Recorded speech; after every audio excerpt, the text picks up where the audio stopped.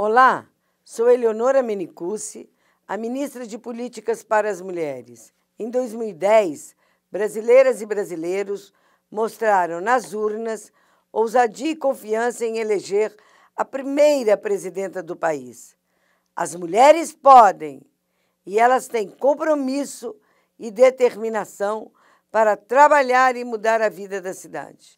Por isso, em Ananindeua, vote em Luiz Freita, vote 13.